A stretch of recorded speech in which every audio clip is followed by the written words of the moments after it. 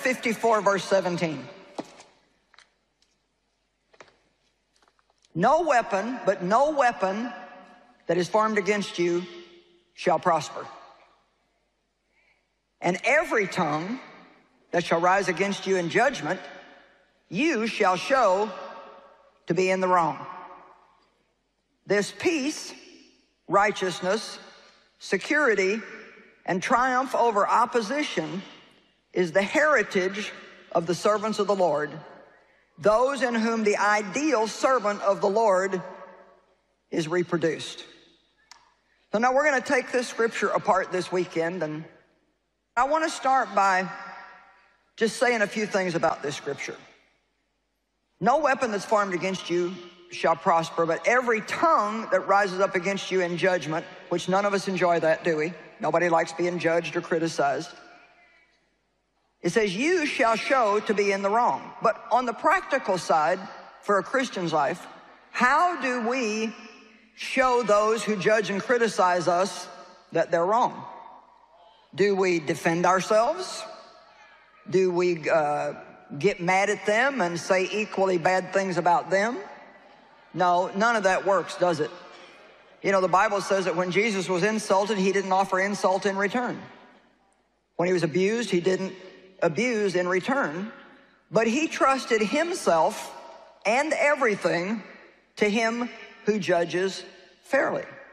So the bottom line is, is the way that we show those who judge and criticize us that they're wrong about us is to behave in a godly way instead of letting what the devil did through them cause us to act like him. I'm going to say that again. You see, what we're so tempted to do is, well, you're not going to talk to me like that. If you think you're going to do that, then I'm going to do this to you. Or I'm going to cut you out of my life. Or I'm going to tell everybody what you did to me. Well, all we're doing when we do that is, first of all, we don't war with human beings. The Bible tells us that, that our war is not with flesh and blood, but with principalities and powers and wickedness in high places. Now, that doesn't relieve people, any of us, of our responsibility to not let the enemy work through us. But the bottom line is, is all evil everywhere in the world, all bad things that happen, the source of those is an entity that the Bible calls the devil, Satan, the evil one, the deceiver, the wicked one, on and on and on. We don't like to talk about the devil. Who likes to talk about the devil? But the sad thing is, in some churches, because talking about the devil is a little unpleasant, they don't talk about the devil.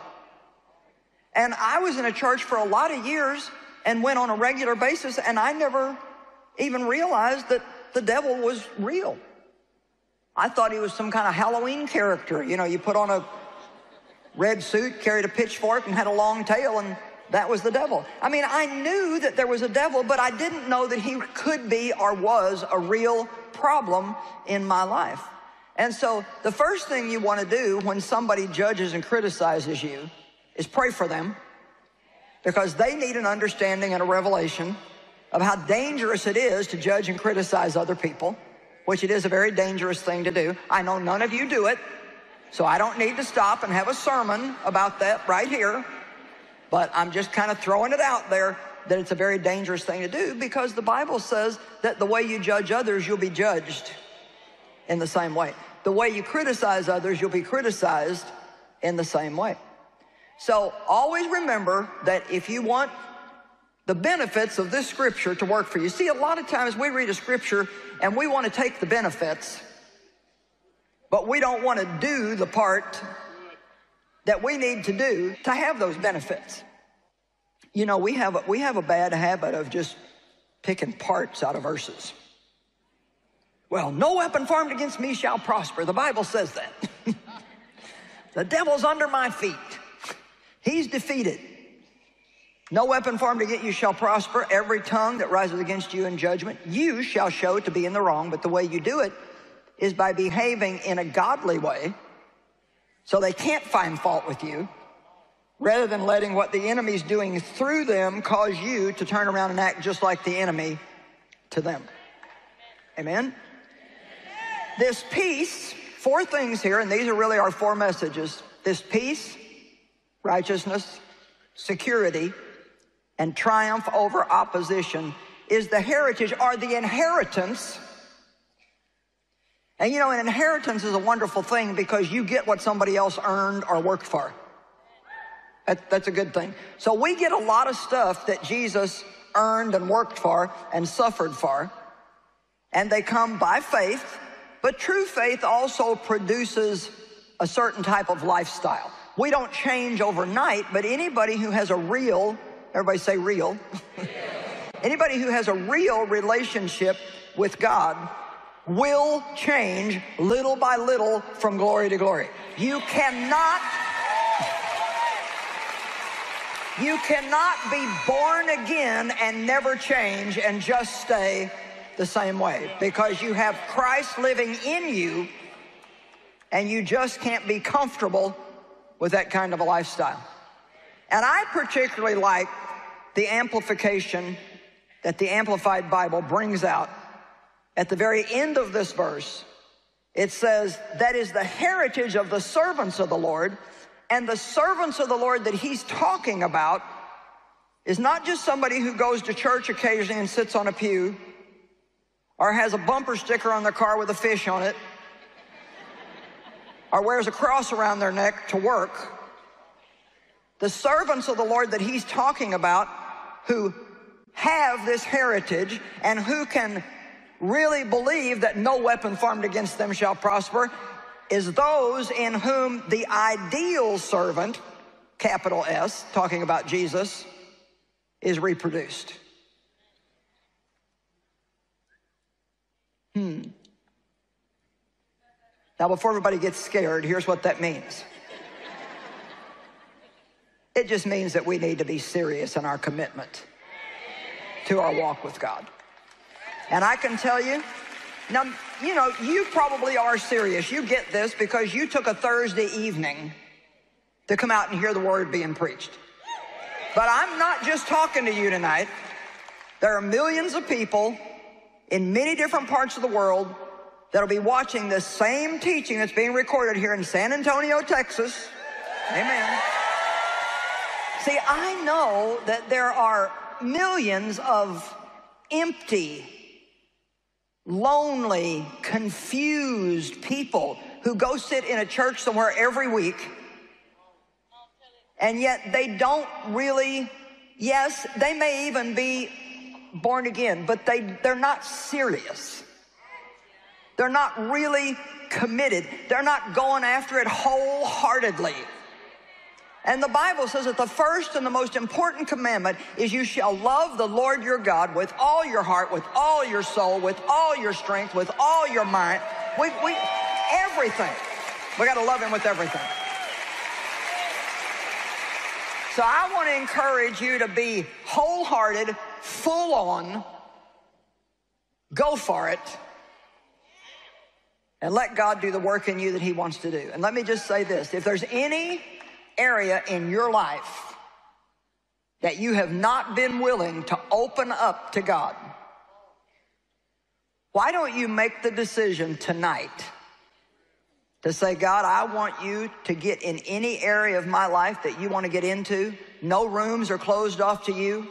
No subjects are closed off to you. Because surely we can believe that God's plan for us is better than our own plan for us. Amen.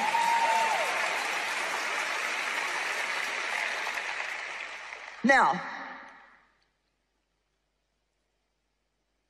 Satan wants us angry, filled with unforgiveness and bitterness, lashing out at all the people who've hurt us. And there's not a person in here that hasn't been hurt by somebody.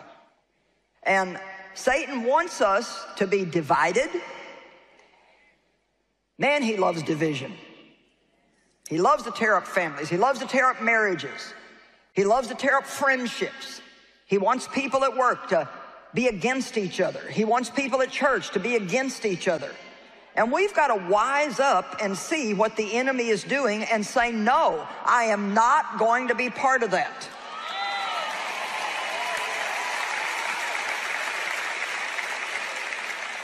God says, the word says in Psalm 133, where there's unity, there's blessing and anointing. Where there's unity, not where people are full of hatred and bitterness and they're fighting all the time. And I will tell you, if you're going to keep the strife out of your life, you're going to have to want to. Amen? Peace equals power. Where there's no peace, there's no power. So Satan wants us angry at everybody, but we don't have to live like that. God wants us to remain steady in every storm of life, and that then allows him to work on our behalf.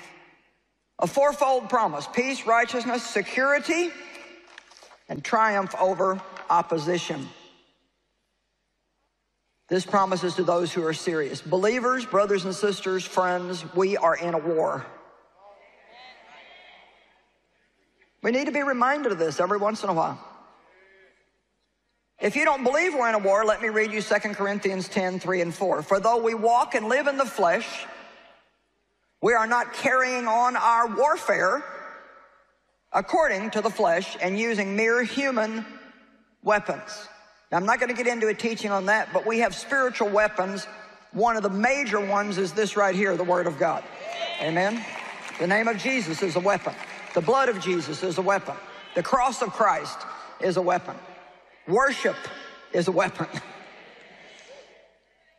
For the weapons of our warfare are not physical weapons of flesh and blood, but they are mighty before God for the overthrow and the destruction of strongholds.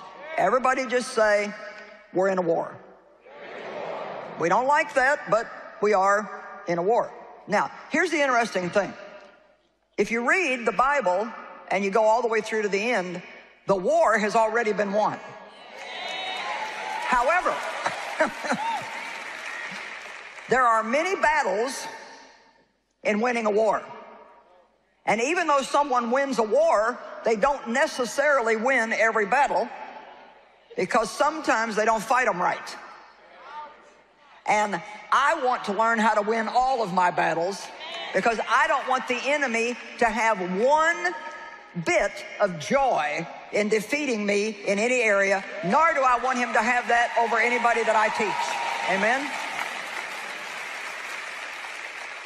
We all know what's going to happen in the end. He's already a defeated foe. Well, we're going to live in victory while we're here. Jesus said he came that we might have and enjoy our lives. Enjoy your life, not just make it through, not just barely get by, not just struggle through every day, but enjoy your life. Now, 2 Corinthians 2 10 and 11 is a great scripture. Two scriptures. It says, If you forgive anyone anything, I too forgive that one. And what I have forgiven, if I have forgiven anything, has been for your sakes and in the presence and with the approval of Christ the Messiah. Now, watch verse 11 to keep Satan from getting the advantage over us, for we are not ignorant of his wiles and, and his intentions. You know what? The devil wants to keep us ignorant. That just means uneducated. He doesn't want us to ever be aware of him or think about him or realize what he's doing or study anything about him. He certainly doesn't want you to know who you are in Christ. He doesn't want you to know the power that's available to you, the authority that you have. He doesn't want you to know that he's behind every bit of evil and wickedness in the world today. He wants to keep us all in the dark. It's actually good to do a really good Bible study on the devil. I thought you'd be excited about that.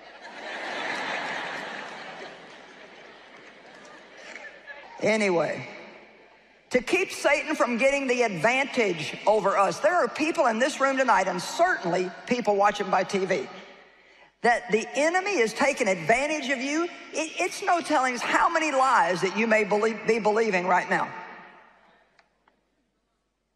How long did I believe that because I had been abused in my childhood,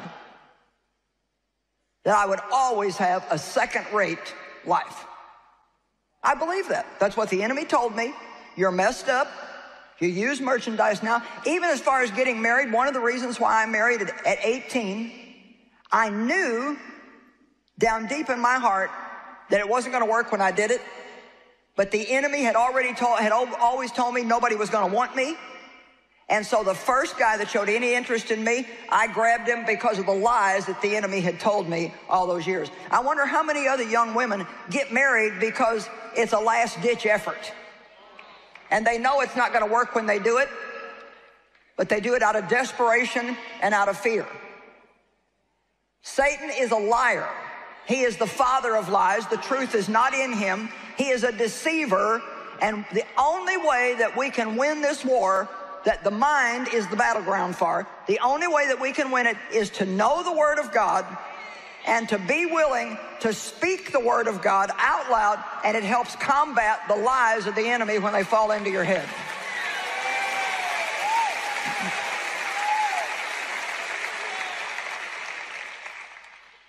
We need to use the authority that we have as believers in Christ. Satan has power but you've got something he doesn't have. You have power and authority.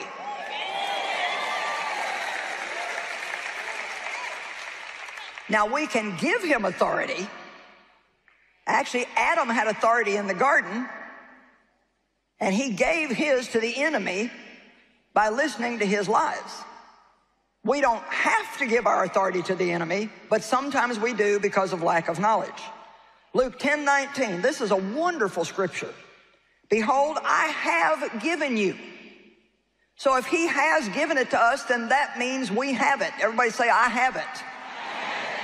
I have given you authority and power to trample upon serpents and scorpions and physical and mental strength and ability over all the power the enemy possesses, and nothing shall in any way harm you.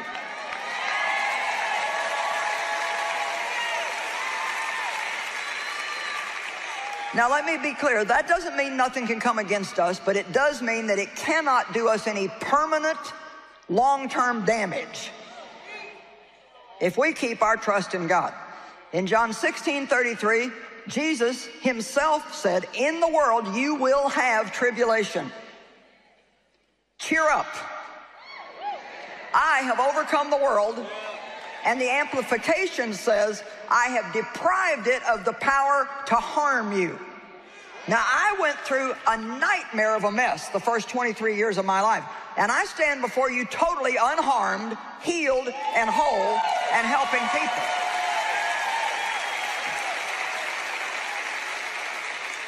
And a lot of things that hurt us sometimes get started in our childhood when other people who have problems have authority over us, or many of the hurts that we encounter even out in the world, it's somebody else out there that's got a problem and we get in the way of their problem and then we get hurt because of their problem. But there's a way for us to be healed and stay whole in every one of those situations. 1 John 3 8 the second half of the scripture says the reason the Son of God was made manifest and visible, the reason that he came was to undo, destroy, loosen, and dissolve the works that the devil has done. To defeat the enemy and to give us back the authority that Adam gave away. Everybody say we're in a war, but I've got authority and I'm going to use it. Okay, one last verse. Two, actually, two. Matthew 16, 15 through 19. Jesus talking to his disciples, and he said, Who do you say that I am? And Simon Peter replied, You are the Christ, the Son of the living God. There's actually real power in that statement. You are the Christ, the Son of the living God. You need to know who Jesus is. He is the Messiah, the Christ, the Son of the living God. Very God of very God, begotten, not made, being of one substance with the Father, by whom all things were made. He died and rose from the dead, and he's coming back again. Amen.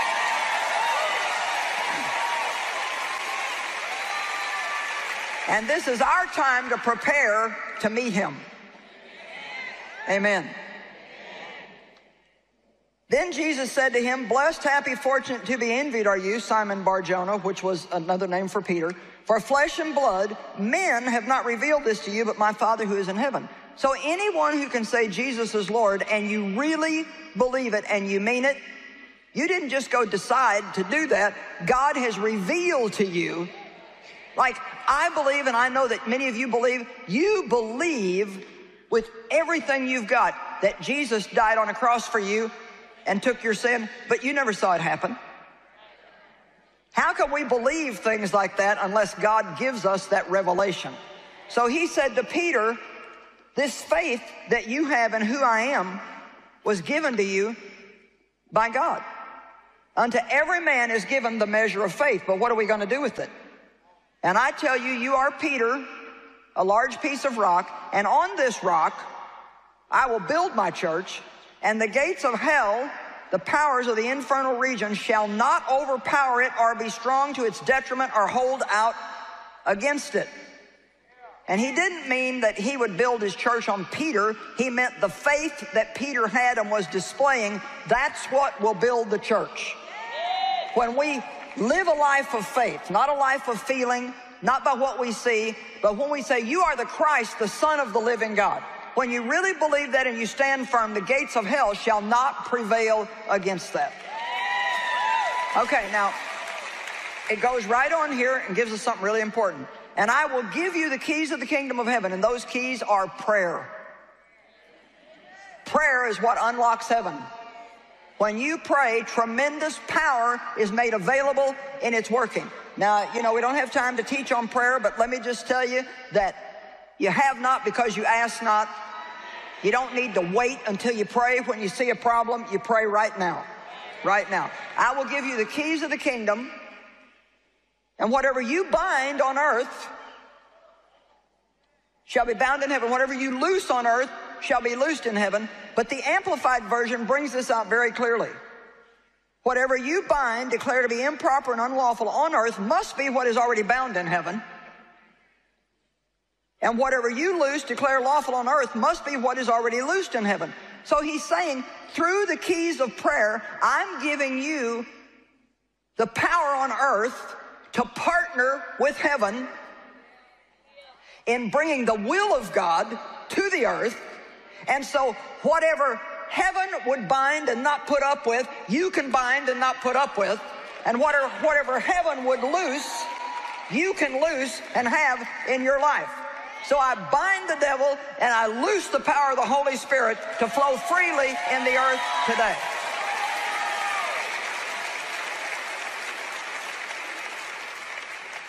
It's not just in a few people.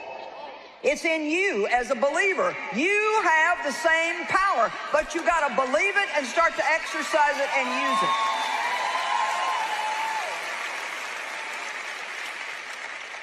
Let me tell you something. If you don't fight for yourself, there may not be anybody else who will. You might have a mama that will fight for you. You might have a grandmama that'll fight for you. But you better fight for yourself. You're going to have to face Goliath at some point in your life. And it might as well be now and get it over with and put him in his place so he knows where he stands and he knows where you stand.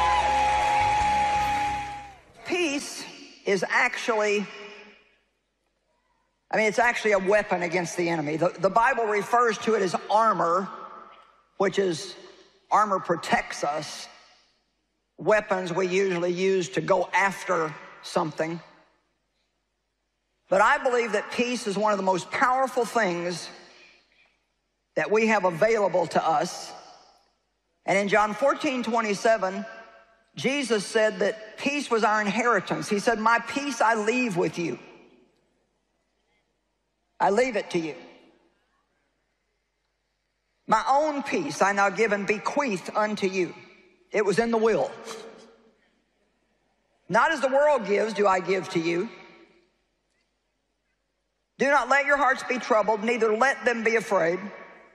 Stop allowing yourselves to be agitated and disturbed, and do not permit yourselves to be fearful and intimidated and cowardly and unsettled. Now, what I see in this scripture is that God's done his part. Now he's saying, here's your part. We are partners with God. He always has a part, and we always have a part. We cannot do his part, and he will not do our part. It's so important that we learn that. The Bible says, cast your care. It does not say to cast your responsibility.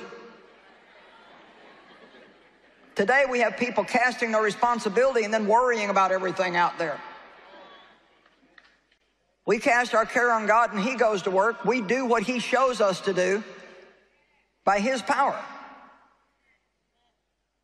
I marveled recently when I realized that, and, and I saw it in, in my journal that I write in every day. Last January, I prayed for God to give me more energy.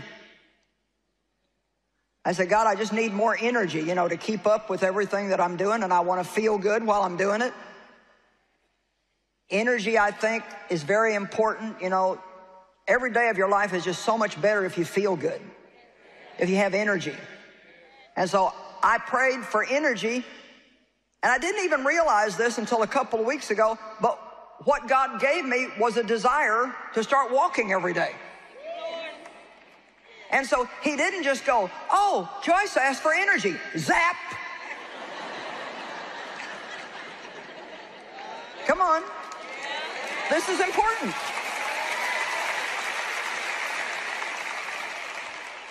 He showed me something to do. and he gave me the grace to do it. And I lean on him every day for that. I thank God that he's given me the ability to do it. I trust him to be able to do it. But I think we, we get in the habit of thinking that, you know, well, it's everything is God, and, you and God is everything. But we're partners with Him. That's the privilege that we have to be a partner with God. He comes and lives in us. We're in Him and He's in us, and we're doing this thing together as partners. He gives us the wisdom, He gives us the grace, He gives us the strength, He gives us the ability. So we're nothing without Him but we can be everything through him. And he wants us to do that for his honor and his glory. Life can get exciting when you realize that every day you're in partnership with God and that he wants to use you if you will let him flow through you. So when you pray and ask God to do something in your life, don't just expect like some kind of a new download from your computer system. Oh, do you have a program for that that I could just download? Yeah, I do. I've got the program. It's right here. You read it, you study it, you learn it. You put it to work in your life, you keep it up, you keep it up, you keep it up, you keep it up, and you keep it up. And all of a sudden you realize I'm a totally different person than what I used to be.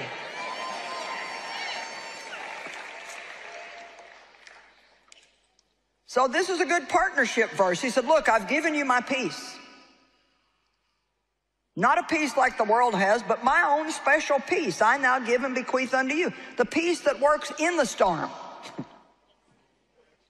he says, I'll give you my peace. Now here's your part. Stop allowing yourselves to be agitated and disturbed. I can't help the way I feel. Well, actually, the truth is, if you change your thinking, your feelings will change. I mean, they really will. If you change your thinking, instead of thinking hopeless thoughts, think, I've got hope. This is going to change. I can do this. I can do whatever I need to do. God never allows more to come on me than what I can bear, but He will give me the grace to do what He's called me to do. I am going to have a good day and all of a sudden you'll start feeling different. Our feelings are very much affected by what we think and what we say.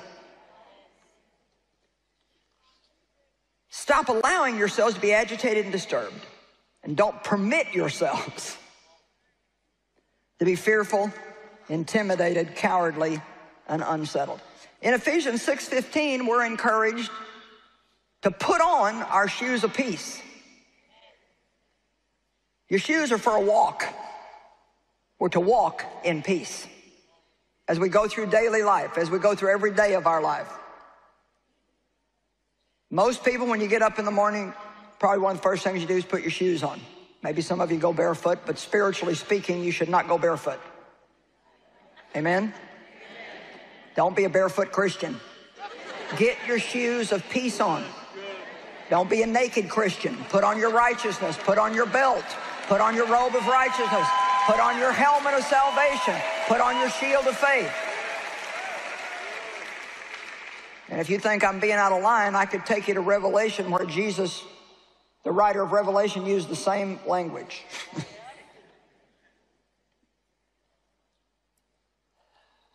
Don't merely desire peace, but pursue and go after it. Is what 1 Peter 3:11 says. That scripture was so important from my life. Let's take a look at it. 1 Peter chapter 3 verse 11. Let him and the verse before this was talking about him who wants to enjoy life. Let him turn from wickedness and shun it. Let him do right. Let him search for peace, harmony, undisturbedness from fears, agitating passions, and moral conflicts, and seek it eagerly. The word seek means to pursue and go after with all your might. Pursue and go after with all of your might. What are you putting the greater part of your energy into? Don't merely desire peaceful relations with God, with your fellow man, and with yourself, but pursue and go after them. Now, one of the things that causes us to lose peace, probably more than anything else, is works of the flesh. Works of the flesh. How many of you have any idea what works of the flesh are? You know what they are? You're like 12 people.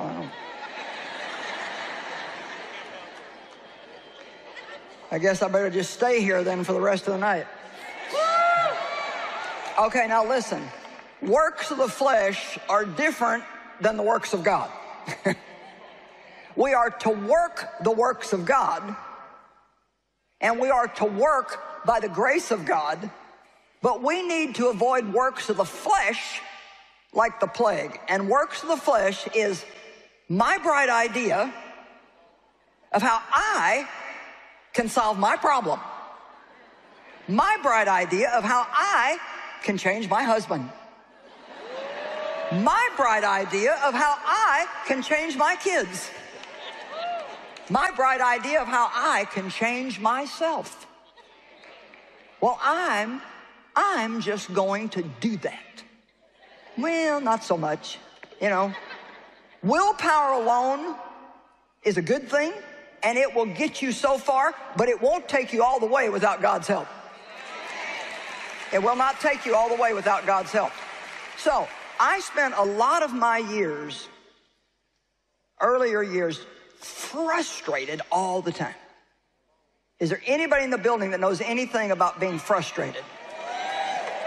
Okay.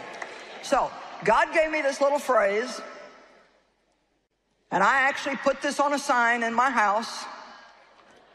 And so we had one made up for you. I could probably get good money for this thing after the thing's over here.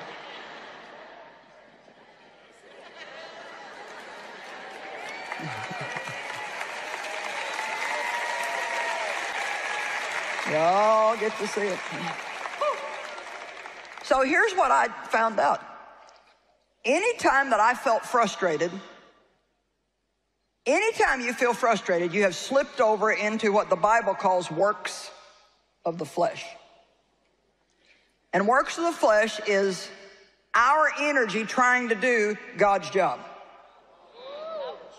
It's us trying to do something that we can't do, that we don't know how to do, that's not working. It's just not working. And those things can be so frustrating. Anytime that any of us, and we all have different things that come up in our life, whether it's a marriage problem, a financial problem, a circumstance problem, problems you're having with yourself because you can't get yourself to do what you want yourself to do. You ever have any of those kind of problems? It's like, you know, I'm just, I'm frustrated with me.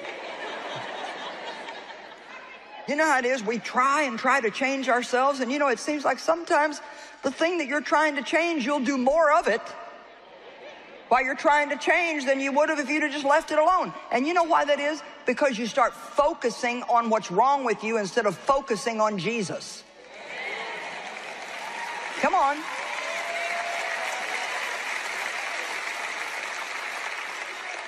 And we're told to look away from all that will distract unto Jesus.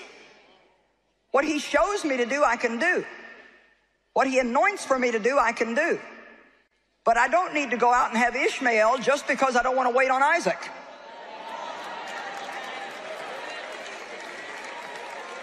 And if you don't know enough of the Bible to know what I mean, there's a story in the Old Testament about a man who was given a promise that he would have a child from his own body. Problem was, he was 100 and his wife was 90 something. They were long past childbearing ages. God said, I promise you that you'll have your own child. They waited years, years, years, years, years went by. No child, no child, no child. So they got a bright idea. You take my handmaiden, get her pregnant, she'll have a child, it'll be my child. Well, that was Ishmael, and Ishmael means man of war. Isaac means the promise. He's the promised child. He's the one that is, is our promise. And so very often we don't want to wait on Isaac because it takes a little longer than we'd like it to. And we go and have an Ishmael and then we got to change his diapers for a long time. Works of the flesh. Anytime you get frustrated, you're in works of the flesh. Three areas that I can talk to you about. It's very easy to get in works of the flesh about trying to change yourself. And I know all about that because I'm telling you what, every message I heard, I needed it. There was not a message that anybody preached when I first started coming to meetings like this and hearing preaching that I, I left convicted while I left condemned from every meeting. Because I didn't know the difference in conviction and condemnation. So when God would use something and convict me, I would let the devil take it then and condemn me and beat me over the head with it. So I'd go home feeling worse than I was when I went. Any of you ever had that experience? Well, you know, it's not always the preacher's fault. It's not always them that's making you feel bad. It's because you don't know sometimes just to say, well, you're right, God. You nailed me tonight. I do have a problem with that. And I'm asking you and trusting you to change me. Then you go home and you study the word in that area of your problem. It's, it's very simple. Very simple. If you have a bad temper, you don't need a teaching on success. Oh, I'm going to go to the success seminar this weekend at the church. And you've been screaming at your family all week, acting like an absolute lunatic.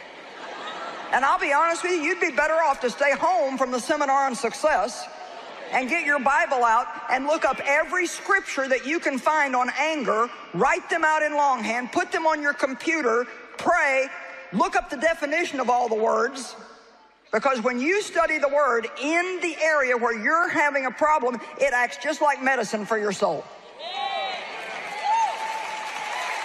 And it has the power to change your life. Learn how to use a concordance. If you're impatient, you don't need prosperity. You need to know how to wait, and that means to wait with a good attitude. That's what patience is. Wait with a good attitude. Amen. Patience is not the ability to wait, it's how we wait. When I learned this, you all still seeing my sign? When I learned this, it was major for me, and it still helps me today. Because when I start getting frustrated, yesterday I got a bill I wasn't expecting, and it was a big one. And it was one of those things, it's like, I should have been getting billed for this like every month, and I didn't get billed for it for like a year. And so now all of a sudden I forgot about the thing because you know if it doesn't come in the mail and stare me in the face, I forget it. And then I get, I'm like, what? Well, you know, my first impulse was to get frustrated, tell the person off who didn't send me the bill, How many of you know it's not smart to go with our first impulses all the time? Breathe. Zip your lip for a few minutes. Help me, God, help me. So here's what I thought. Well, I would have spent the money anyway. I would have just spent it in smaller increments. You can talk yourself out of trouble. Amen?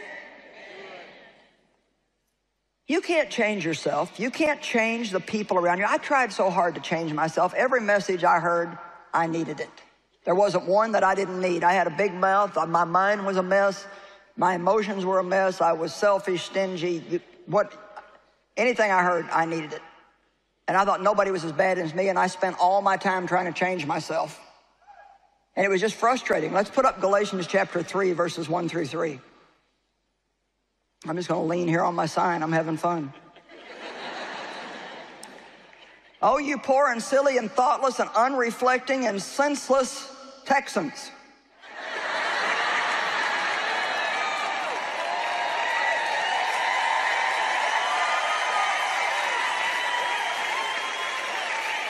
Well, we got to bring it home so we can own it. Who has fascinated or bewitched or cast a spell over you, unto whom right before your very eyes Jesus Christ the Messiah was openly and graphically set forth and portrayed as crucified? Now, I checked this out to see when this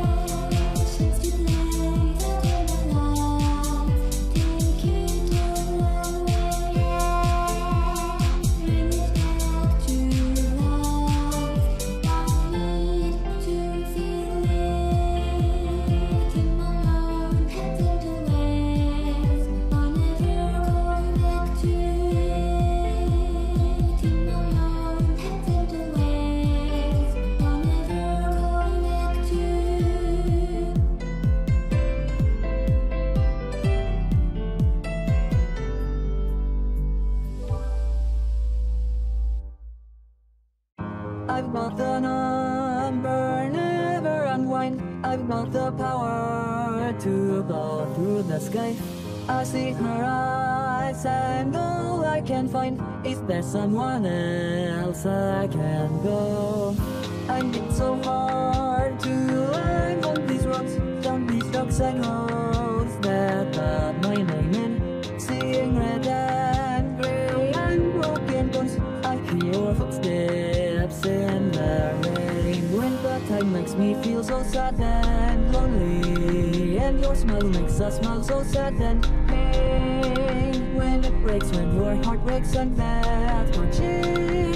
just want you to feel my love break.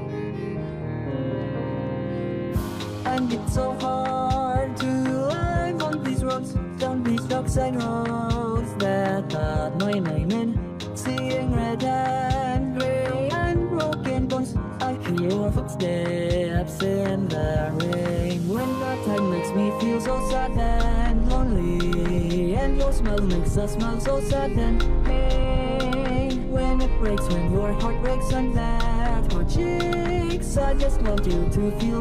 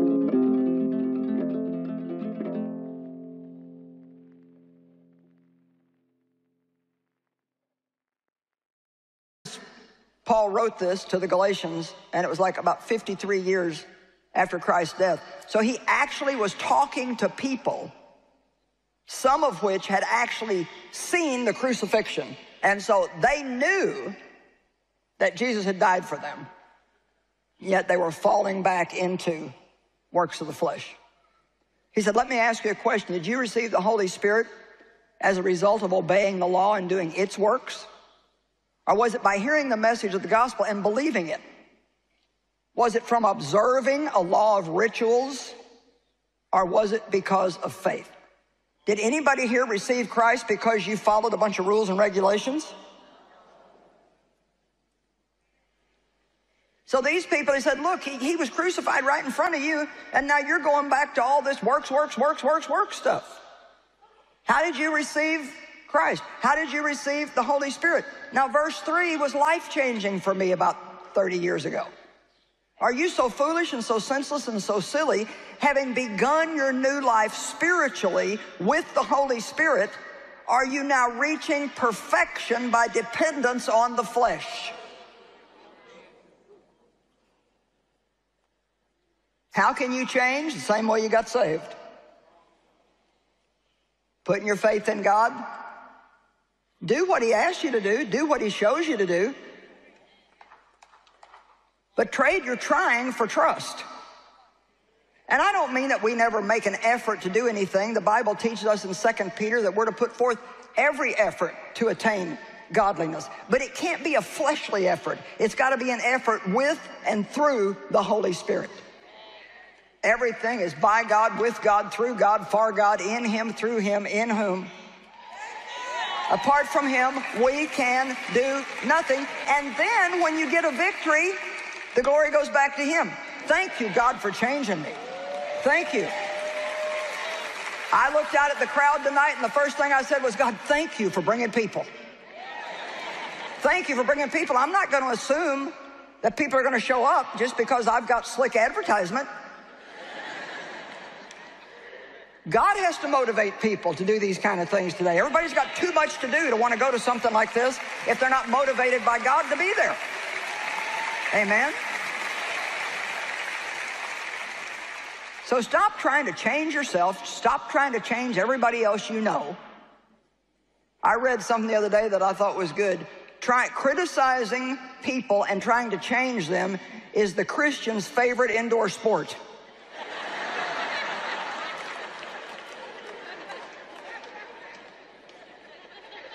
I mean, if God just said to you, I'll give you one week to change anybody you want to change, I wonder how many people you could get on your list real quick. and I can just tell you it don't work. I tried and tried and tried to change Dave, and lo and behold, I found out God wanted to change me. I think Dave's changed some. I don't doesn't matter anymore now because it's God's business, it's not mine. Amen?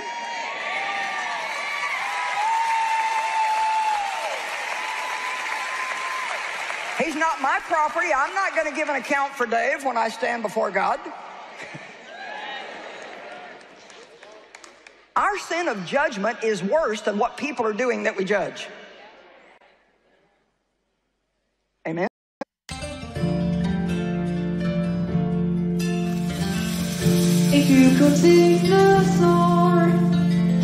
Take pill and don't get hurt because you've had to leave. You've had to change the heart. But now you're here to save the world for someone else too. Would you let your tears be in the middle of the night? Use my last you walk by, and then you said goodbye. Once upon a day to make your cry, please forgive me.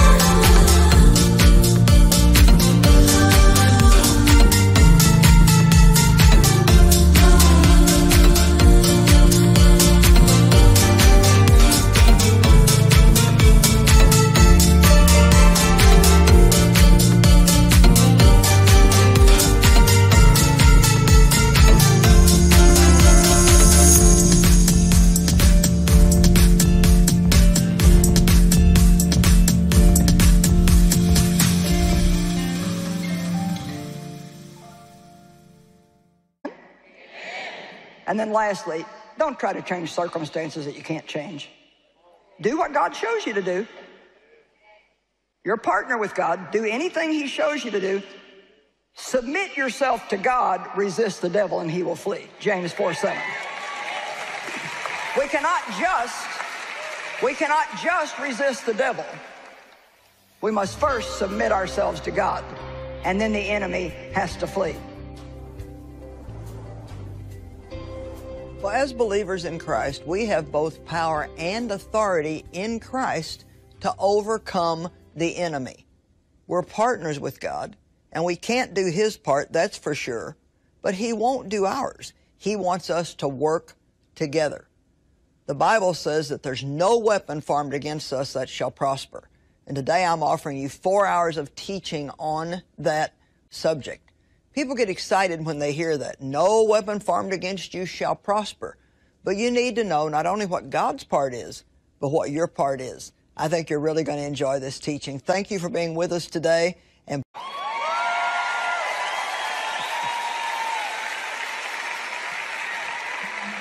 I thought I'd get a good response on that one. Isaiah chapter 54, verse 17. No weapon, but no weapon that is formed against you shall prosper. And every tongue that shall rise against you in judgment, you shall show to be in the wrong. This peace, righteousness, security, and triumph over opposition is the heritage of the servants of the Lord, those in whom the ideal servant of the Lord is reproduced. So now we're going to take this scripture apart this weekend, and I want to start by just saying a few things about this scripture. No weapon that's formed against you shall prosper, but every tongue that rises up against you in judgment, which none of us enjoy that, do we? Nobody likes being judged or criticized. It says, you shall show to be in the wrong. But on the practical side, for a Christian's life, how do we show those who judge and criticize us that they're wrong?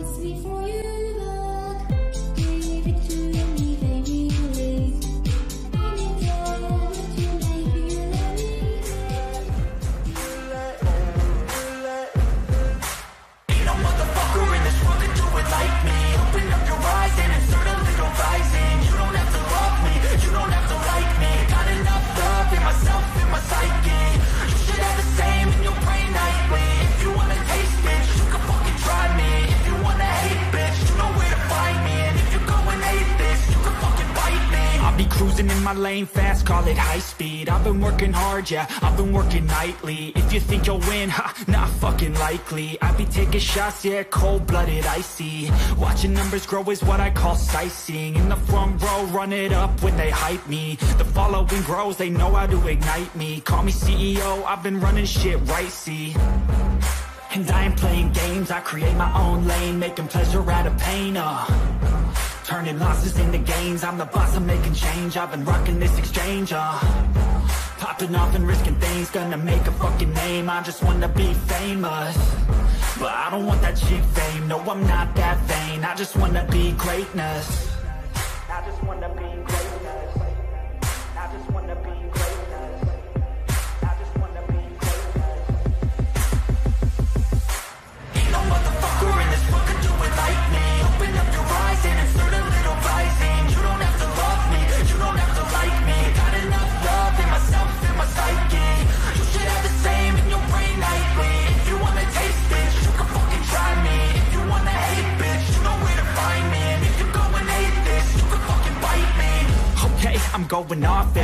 I get I don't really take a loss, well, I'll admit That's why I'll make it to the top, yeah, I commit And no, I'm never getting lost, I get after it Investing in my own stock, cause it's faster than Any crypto hits go, let me spend Do we defend ourselves? Do we uh, get mad at them and say equally bad things about them? No, none of that works, does it? You know, the Bible says that when Jesus was insulted, he didn't offer insult in return. When he was abused, he didn't abuse in return, but he trusted himself and everything to him who judges fairly. So the bottom line is, is the way that we show those who judge and criticize us that they're wrong about us is to behave in a godly way instead of letting what the devil did through them cause us to act like him. I'm going to say that again. You see, what we're so tempted to do is, well, you're not going to talk to me like that. If you think you're going to do that, then I'm going to do this to you. Or I'm going to cut you out of my life. Or I'm going to tell everybody what you did to me. Well, all we're doing when we do that is, first of all, we don't war with human beings. The Bible tells us that, that our war is not with flesh and blood, but with principalities and powers and wickedness in high places. Now, that doesn't relieve people, any of us, of our responsibility to not let the enemy work through us. But the bottom line is, is all evil everywhere in the world, all bad things that happen, the source of those is an entity that the Bible calls the devil, Satan, the evil one, the deceiver, the wicked one, on and on and on. We don't like to talk about the devil. Who likes to talk about the devil? But the sad thing is, in some churches, because talking about the devil is a little unpleasant, they don't talk about the devil. And I was in a church for a lot of years and went on a regular basis, and I never even realized that the devil was real. I thought he was some kind of Halloween character. You know, you put on a red suit, carried a pitchfork, and had a long tail, and that was the devil. I mean, I knew that there was a devil, but I didn't know that he could be or was a real problem in my life. And so the first thing you want to do when somebody judges and criticizes you is pray for them because they need an understanding and a revelation of how dangerous it is to judge and criticize other people, which it is a very dangerous thing to do. I know none of you do it, so I don't need to stop and have a sermon about that right here. But I'm just kind of throwing it out there that it's a very dangerous thing to do because the Bible says that the way you judge others, you'll be judged in the same way. The way you criticize others, you'll be criticized in the same way. So always remember that if you want the benefits of this scripture to work for you. See, a lot of times we read a scripture and we want to take the benefits, but we don't want to do the part that we need to do to have those benefits. You know, we have a, we have a bad habit of just picking parts out of verses. Well, no weapon formed against me shall prosper. The Bible says that. the devil's under my feet. He's defeated. No weapon formed against you shall prosper. Every tongue that rises against you in judgment, you shall show to be in the wrong. But the way you do it is by behaving in a godly way so they can't find fault with you rather than letting what the enemy's doing through them cause you to turn around and act just like the enemy to them. Amen? This peace, four things here, and these are really our four messages. This peace, righteousness, security, and triumph over opposition is the heritage or the inheritance. And you know, an inheritance is a wonderful thing because you get what somebody else earned or worked for. That, that's a good thing. So we get a lot of stuff that Jesus earned and worked for and suffered for. And they come by faith, but true faith also produces a certain type of lifestyle. We don't change overnight, but anybody who has a real, everybody say real, anybody who has a real relationship with God will change little by little from glory to glory. You cannot you cannot be born again and never change and just stay the same way because you have Christ living in you and you just can't be comfortable with that kind of a lifestyle. And I particularly like the amplification that the Amplified Bible brings out at the very end of this verse. It says, that is the heritage of the servants of the Lord and the servants of the Lord that he's talking about is not just somebody who goes to church occasionally and sits on a pew or has a bumper sticker on their car with a fish on it or wears a cross around their neck to work. The servants of the Lord that he's talking about who have this heritage and who can really believe that no weapon formed against them shall prosper is those in whom the ideal servant, capital S, talking about Jesus, is reproduced. Hmm. Now, before everybody gets scared, here's what that means. It just means that we need to be serious in our commitment to our walk with God. And I can tell you, now, you know, you probably are serious. You get this because you took a Thursday evening to come out and hear the word being preached. But I'm not just talking to you tonight. There are millions of people in many different parts of the world that'll be watching this same teaching that's being recorded here in San Antonio, Texas. Amen. See, I know that there are millions of empty lonely, confused people who go sit in a church somewhere every week and yet they don't really, yes, they may even be born again, but they, they're not serious. They're not really committed. They're not going after it wholeheartedly. And the Bible says that the first and the most important commandment is you shall love the Lord your God with all your heart, with all your soul, with all your strength, with all your mind. We, everything. We got to love him with everything. So I want to encourage you to be wholehearted, full on, go for it, and let God do the work in you that he wants to do. And let me just say this, if there's any area in your life that you have not been willing to open up to God, why don't you make the decision tonight to say, God, I want you to get in any area of my life that you want to get into. No rooms are closed off to you. No subjects are closed off to you. Because surely we can believe that God's plan for us is better than our own plan for us. Amen.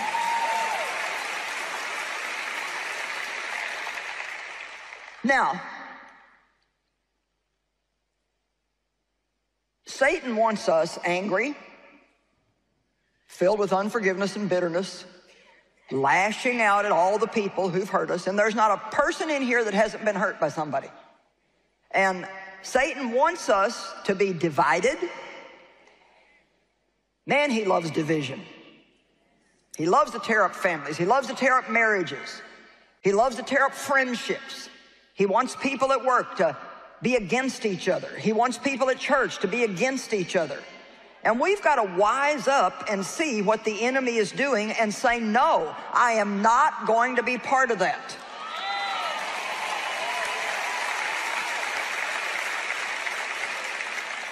God says, the word says in Psalm 133, where there's unity, there's blessing and anointing.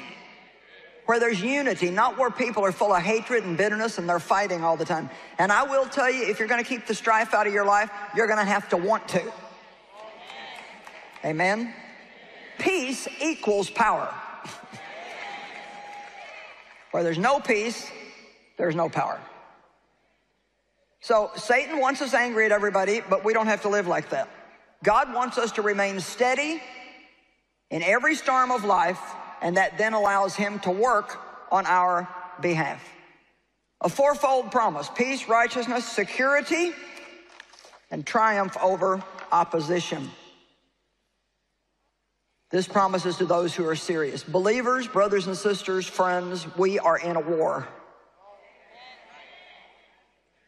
We need to be reminded of this every once in a while. If you don't believe we're in a war, let me read you 2 Corinthians 10, 3 and 4. For though we walk and live in the flesh, we are not carrying on our warfare according to the flesh and using mere human weapons. Now, I'm not going to get into a teaching on that, but we have spiritual weapons. One of the major ones is this right here, the Word of God. Amen? The name of Jesus is a weapon. The blood of Jesus is a weapon. The cross of Christ is a weapon. Worship is a weapon. For the weapons of our warfare are not physical weapons of flesh and blood, but they are mighty before God for the overthrow and the destruction of strongholds. Everybody just say, we're in a war. We don't like that, but we are in a war. Now, here's the interesting thing. If you read the Bible and you go all the way through to the end, the war has already been won. However, there are many battles in winning a war. And even though someone wins a war, they don't necessarily win every battle because sometimes they don't fight them right. And I want to learn how to win all of my battles because I don't want the enemy to have one bit of joy in defeating me in any area, nor do I want him to have that over anybody that I teach. Amen? We all know what's going to happen in the end. He's already a defeated foe. But we're going to live in victory while we're here. Jesus said he came that we might have and enjoy our lives. Enjoy your life, not just make it through, not just barely get by, not just struggle through every day, but enjoy your life. Now, 2 Corinthians 2 10 and 11 is a great scripture. Two scriptures. It says, If you forgive anyone anything, I too forgive that one. And what I have forgiven, if I have forgiven anything, has been for your sakes and in the presence and with the approval of Christ the Messiah. Now, watch verse 11 to keep Satan from getting the advantage over us, for we are not ignorant of his wiles and, and his intentions. You know what? The devil wants to keep us ignorant. That just means uneducated. He doesn't want us to ever be aware of him or think about him or realize what he's doing or study anything about him. He certainly doesn't want you to know who you are in Christ. He doesn't want you to know the power that's available to you, the authority that you have. He doesn't want you to know that he's behind every bit of evil and wickedness in the world today. He wants to keep us all in the dark. It's actually good to do a really good Bible study on the devil. I thought you'd be excited about that. Anyway, to keep Satan from getting the advantage over us, there are people in this room tonight, and certainly people watching by TV, that the enemy is taking advantage of you. It, it's no telling how many lies that you may believe, be believing right now. How long did I believe that because I had been abused in my childhood, that I would always have a second rate life? I believe that. That's what the enemy told me. You're messed up. You use merchandise now. Even as far as getting married, one of the reasons why I married at 18, I knew down deep in my heart that it wasn't going to work when I did it. But the enemy had already told, had always told me nobody was going to want me.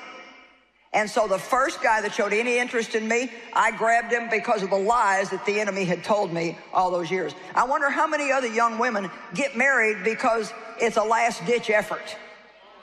And they know it's not going to work when they do it, but they do it out of desperation and out of fear.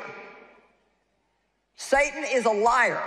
He is the father of lies. The truth is not in him. He is a deceiver.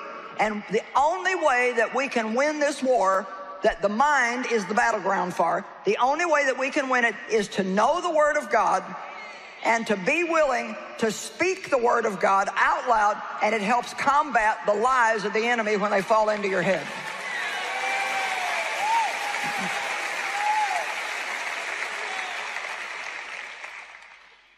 We need to use the authority that we have as believers in Christ. Satan has power, but you've got something he doesn't have. You have power and authority.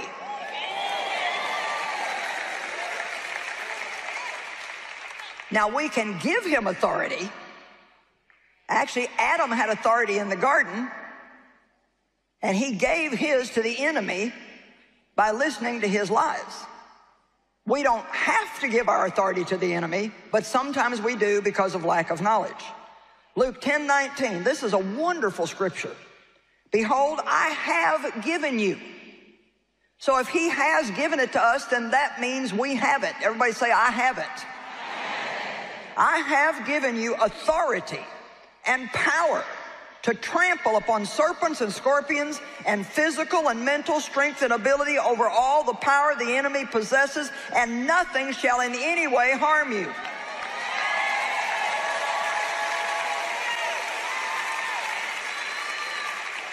Now, let me be clear. That doesn't mean nothing can come against us, but it does mean that it cannot do us any permanent, long term damage if we keep our trust in God.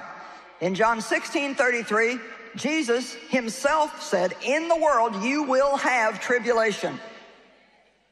Cheer up. I have overcome the world. And the amplification says, I have deprived it of the power to harm you. Now, I went through a nightmare of a mess the first 23 years of my life. And I stand before you totally unharmed, healed, and whole, and helping people.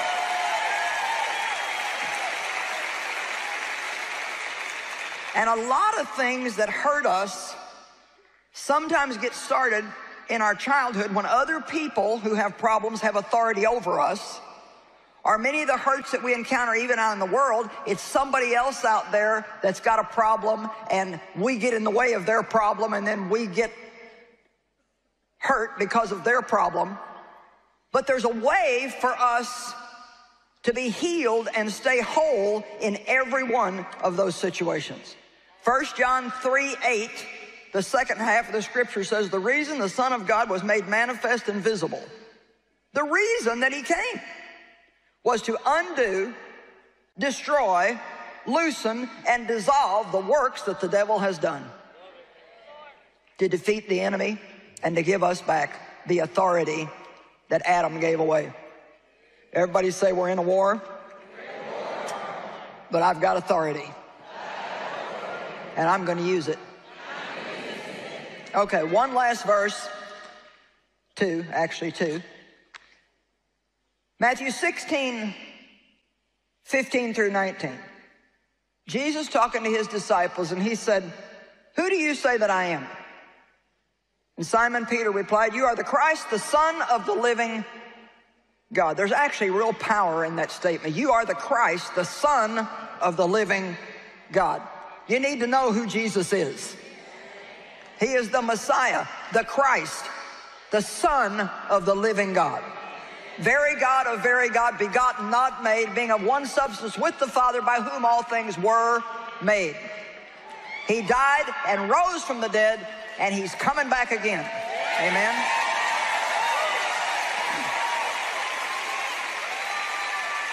And this is our time to prepare to meet him. Amen. Then Jesus said to him, Blessed, happy, fortunate to be envied are you, Simon Barjona, which was another name for Peter. For flesh and blood, men have not revealed this to you, but my Father who is in heaven. So anyone who can say Jesus is Lord and you really believe it and you mean it, you didn't just go decide to do that. God has revealed to you.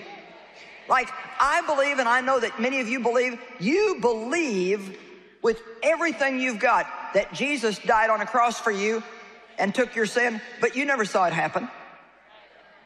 How can we believe things like that unless God gives us that revelation?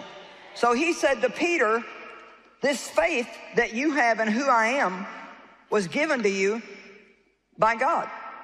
Unto every man is given the measure of faith, but what are we going to do with it? And I tell you, you are Peter, a large piece of rock, and on this rock I will build my church, and the gates of hell the powers of the infernal region shall not overpower it or be strong to its detriment or hold out against it. And he didn't mean that he would build his church on Peter. He meant the faith that Peter had and was displaying. That's what will build the church.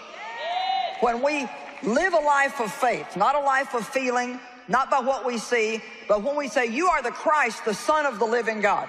When you really believe that and you stand firm, the gates of hell shall not prevail against that. Okay, now, it goes right on here and gives us something really important. And I will give you the keys of the kingdom of heaven, and those keys are prayer. Prayer is what unlocks heaven. When you pray, tremendous power is made available in its working. Now, you know, we don't have time to teach on prayer, but let me just tell you that you have not because you ask not. You don't need to wait until you pray. When you see a problem, you pray right now. Right now. I will give you the keys of the kingdom, and whatever you bind on earth shall be bound in heaven. Whatever you loose on earth shall be loosed in heaven. But the Amplified Version brings this out very clearly. Whatever you bind, declare to be improper and unlawful on earth, must be what is already bound in heaven. And whatever you loose, declare lawful on earth, must be what is already loosed in heaven. So he's saying, through the keys of prayer, I'm giving you the power on earth to partner with heaven in bringing the will of God to the earth. And so whatever heaven would bind and not put up with, you can bind and not put up with. And whatever, whatever heaven would loose, you can loose and have in your life. So I bind the devil and I loose the power of the Holy Spirit to flow freely in the earth today.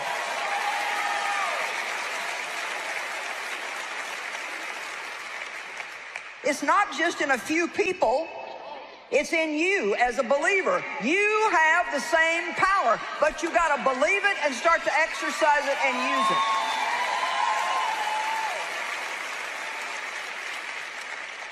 Let me tell you something. If you don't fight for yourself, there may not be anybody else who will. You might have a mama that will fight for you. You might have a grandmama that'll fight for you. But you better fight for yourself. You're going to have to face Goliath at some point in your life. And it might as well be now and get it over with and put him in his place so he knows where he stands and he knows where you stand. Is actually, I mean, it's actually a weapon against the enemy. The, the Bible refers to it as armor, which is armor protects us. Weapons we usually use to go after something. But I believe that peace is one of the most powerful things that we have available to us. And in John 14, 27, Jesus said that peace was our inheritance. He said, My peace I leave with you. I leave it to you. My own peace I now give and bequeath unto you. It was in the will. Not as the world gives, do I give to you. Do not let your hearts be troubled, neither let them be afraid. Stop allowing yourselves to be agitated and disturbed, and do not permit yourselves to be fearful and intimidated and cowardly and unsettled. Now, what I see in this scripture is that God's done his part. Now he's saying, here's your part. We are partners with God. He always has a part, and we always have a part. We cannot do his part, and he will not do our part. It's so important that we learn that. The Bible says, cast your care. It does not say to cast your responsibility. Today we have people casting their responsibility and then worrying about everything out there. We cast our care on God and He goes to work. We do what He shows us to do by His power. I marveled recently when I realized that, and, and I saw it in, in my journal that I write in every day. Last January, I prayed for God to give me more energy. I said, God, I just need more energy, you know, to keep up with everything that I'm doing, and I want to feel good while I'm doing it. Energy, I think, is very important. You know, every day of your life is just so much better if you feel good, if you have energy. And so I prayed for energy, and I didn't even realize this until a couple of weeks ago, but what God gave me was a desire to start walking every day. And so he didn't just go, oh, Joyce asked for energy. Zap. Come on. This is important.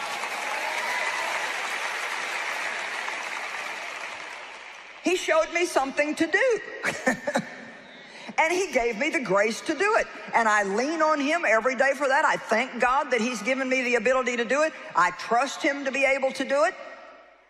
But I think we, we get in the habit of thinking that, you know, well, it's everything is God and, you, know, and God is everything but we're partners with him. That's the privilege that we have to be a partner with God. He comes and lives in us. We're in him and he's in us and we're doing this thing together as partners. He gives us the wisdom. He gives us the grace. He gives us the strength. He gives us the ability. So we're nothing without him, but we can be everything through him. And he wants us to do that for his honor and his glory. Life can get exciting when you realize that every day you're in partnership with God and that He wants to use you if you will let Him flow through you. So when you pray and ask God to do something in your life, don't just expect like some kind of a new download from your computer system. Oh, do you have a program for that that I could just download? Yeah, I do. I've got the program. It's right here. You read it, you study it, you learn it,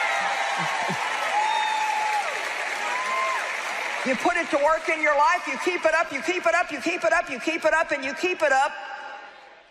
And all of a sudden you realize I'm a totally different person than what I used to be.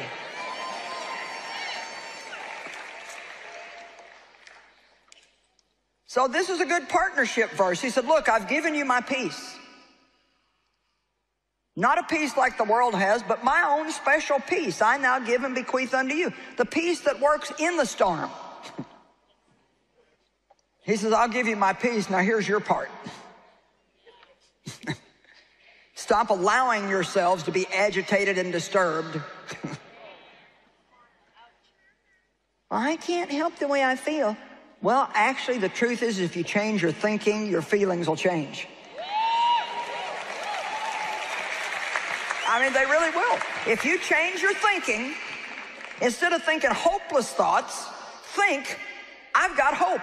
This is going to change. I can do this. I can do whatever I need to do. God never allows more to come on me than what I can bear, but He will give me the grace to do what He's called me to do. I am going to have a good day.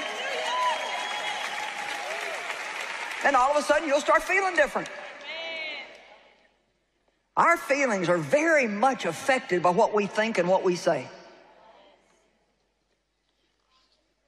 Stop allowing yourselves to be agitated and disturbed. And don't permit yourselves to be fearful, intimidated, cowardly, and unsettled. In Ephesians 6:15, we're encouraged to put on our shoes of peace.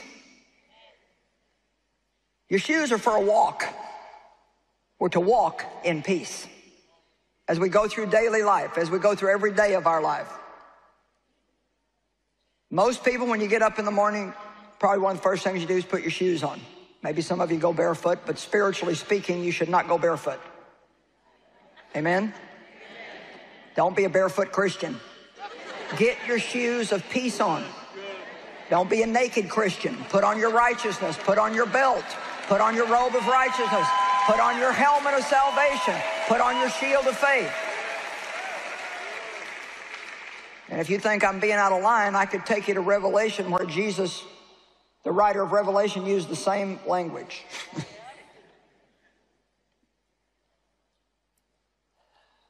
Don't merely desire peace, but pursue and go after it. Is what 1 Peter 3:11 says. That scripture was so important from my life. Let's take a look at it. 1 Peter chapter 3 verse 11. Let him and the verse before this was talking about him who wants to enjoy life. Let him turn from wickedness and shun it. Let him do right. Let him search for peace, harmony, undisturbedness from fears, agitating passions, and moral conflicts, and seek it eagerly. The word seek means to pursue and go after with all your might. Pursue and go after with all of your might. What are you putting the greater part of your energy into? Don't merely desire peaceful relations with God, with your fellow man, and with yourself, but pursue and go after them.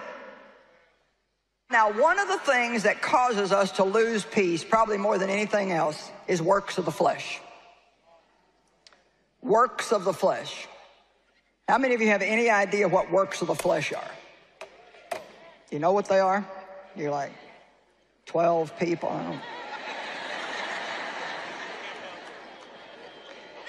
I guess I better just stay here then for the rest of the night. Okay, now listen. Works of the flesh are different than the works of God. we are to work the works of God, and we are to work by the grace of God, but we need to avoid works of the flesh like the plague. And works of the flesh is my bright idea of how I can solve my problem. My bright idea of how I can change my husband. My bright idea of how I can change my kids. My bright idea of how I can change myself. Well, I'm, I'm just going to do that. Well, not so much. You know, willpower alone is a good thing and it will get you so far, but it won't take you all the way without God's help. It will not take you all the way without God's help. So I spent a lot of my years, earlier years, frustrated all the time. Is there anybody in the building that knows anything about being frustrated? Okay. So God gave me this little phrase, and I actually put this on a sign in my house. And so we had one made up for you. I could probably get good money for this thing after the thing's over here.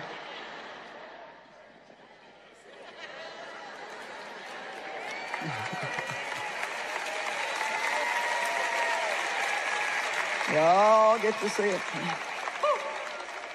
So here's what I found out. Anytime that I felt frustrated, anytime you feel frustrated, you have slipped over into what the Bible calls works of the flesh. And works of the flesh is our energy trying to do God's job. It's us trying to do something that we can't do, that we don't know how to do. That's not working. It's just not working. And those things can be so frustrating. Anytime that any of us, and we all have different things that come up in our life. Whether it's a marriage problem, a financial problem, a circumstance problem, problems you're having with yourself because you can't get yourself to do what you want yourself to do. Do you ever have any of those kind of problems? It's like, you know, I'm just, I'm frustrated with me. You know how it is? We try and try to change ourselves, and you know, it seems like sometimes the thing that you're trying to change, you'll do more of it while you're trying to change than you would have if you'd have just left it alone. And you know why that is? Because you start focusing on what's wrong with you instead of focusing on Jesus. Come on.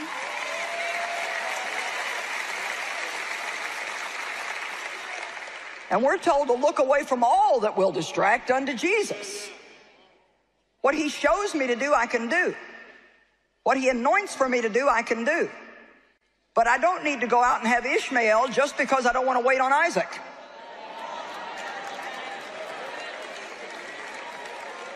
And if you don't know enough of the Bible to know what I mean, there's a story in the Old Testament about a man who was given a promise that he would have a child from his own body.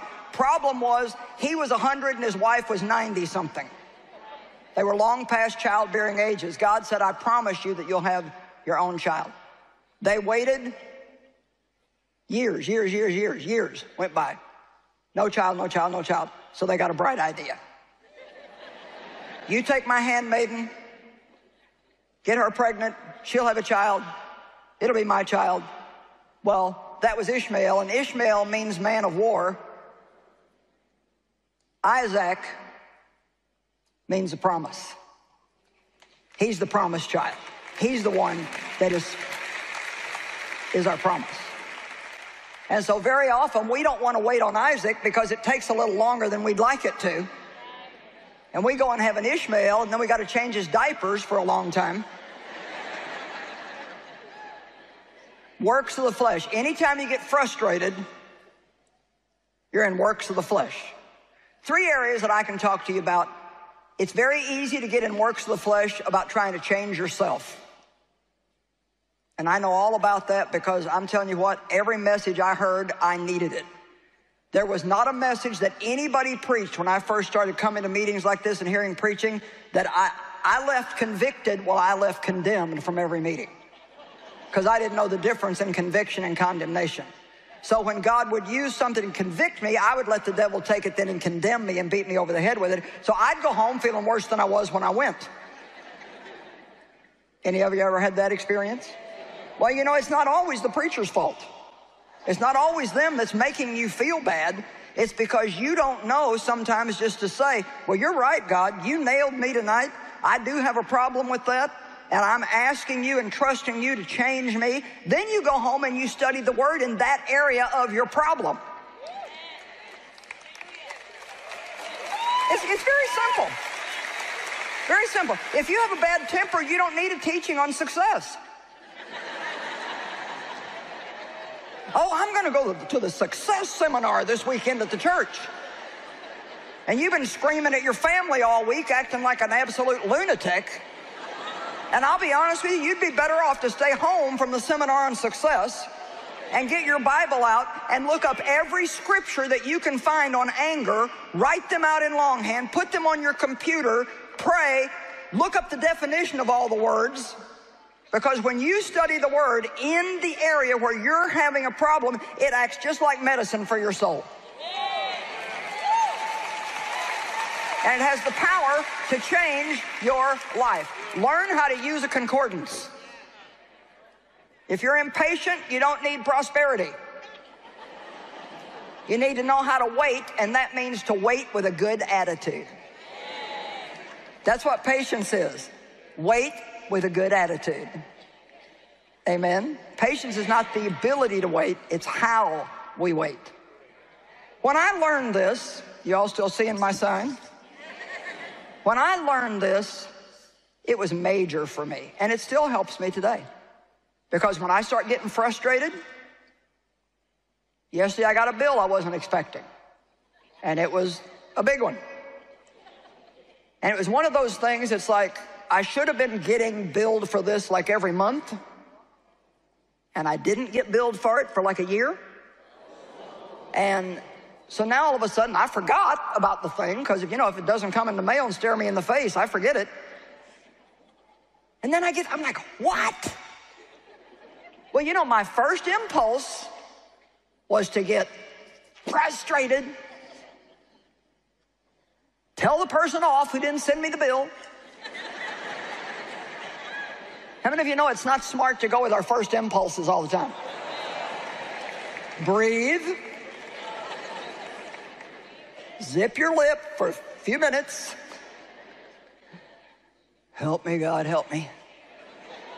So here's what I thought. Well, I would have spent the money anyway. I would have just spent it in smaller increments.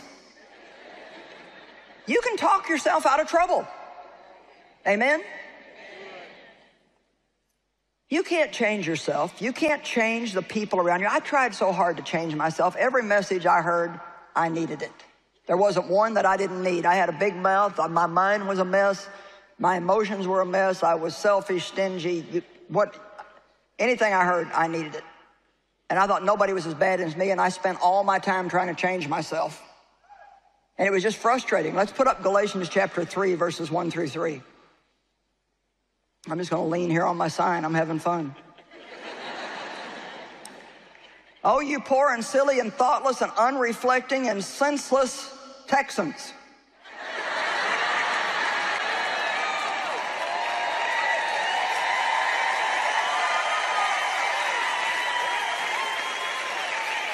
well, we to bring it home so we can own it. Who has fascinated or bewitched or cast a spell over you, unto whom right before your very eyes Jesus Christ the Messiah was openly and graphically set forth and portrayed as crucified? Now, I checked this out to see when this Paul wrote this to the Galatians, and it was like about 53 years after Christ's death. So he actually was talking to people, some of which had actually seen the crucifixion. And so they knew that Jesus had died for them, yet they were falling back into works of the flesh. He said, Let me ask you a question. Did you receive the Holy Spirit as a result of obeying the law and doing its works? Or was it by hearing the message of the gospel and believing it? Was it from observing a law of rituals? Or was it because of faith? Did anybody here receive Christ because you followed a bunch of rules and regulations? So these people, they said, look, he, he was crucified right in front of you, and now you're going back to all this works, works, works, works, works stuff. How did you receive Christ? How did you receive the Holy Spirit? Now, verse 3 was life changing for me about 30 years ago. Are you so foolish and so senseless and so silly, having begun your new life spiritually with the Holy Spirit, are you now reaching perfection by dependence on the flesh? How can you change? The same way you got saved. Putting your faith in God. Do what He asks you to do, do what He shows you to do. But trade your trying for trust. And I don't mean that we never make an effort to do anything. The Bible teaches us in 2 Peter that we're to put forth every effort to attain godliness. But it can't be a fleshly effort. It's got to be an effort with and through the Holy Spirit. Everything is by God, with God, through God, for God, in Him, through Him, in whom. Apart from Him, we can do nothing. And then when you get a victory, the glory goes back to Him. Thank you, God, for changing me. Thank you. I looked out at the crowd tonight, and the first thing I said was, God, thank you for bringing people. Thank you for bringing people. I'm not going to assume that people are going to show up just because I've got slick advertisement. God has to motivate people to do these kind of things today. Everybody's got too much to do to want to go to something like this if they're not motivated by God to be there. Amen. So stop trying to change yourself. Stop trying to change everybody else you know. I read something the other day that I thought was good. Try criticizing people and trying to change them is the Christian's favorite indoor sport.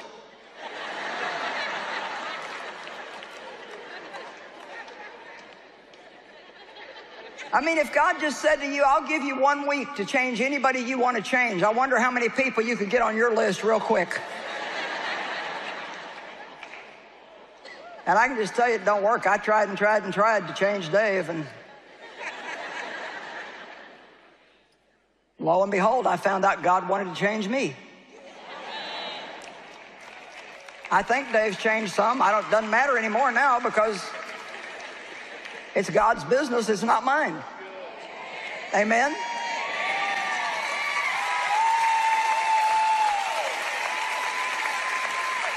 He's not my property. I'm not going to give an account for Dave when I stand before God. Our sin of judgment is worse than what people are doing that we judge. Amen? And then lastly, don't try to change circumstances that you can't change. Do what God shows you to do. You're a partner with God. Do anything He shows you to do. Submit yourself to God, resist the devil, and he will flee. James 4 7. We cannot just, we cannot just resist the devil. We must first submit ourselves to God, and then the enemy has to flee. Well, as believers in Christ, we have both power and authority in Christ to overcome the enemy. We're partners with God, and we can't do His part, that's for sure, but He won't do ours. He wants us to work together. The Bible says that there's no weapon formed against us that shall prosper. And today I'm offering you four hours of teaching on that subject. People get excited when they hear that. No weapon formed against you shall prosper. But you need to know not only what God's part is, but what your part is. I think you're really going to enjoy this teaching. Thank you for being with us today. And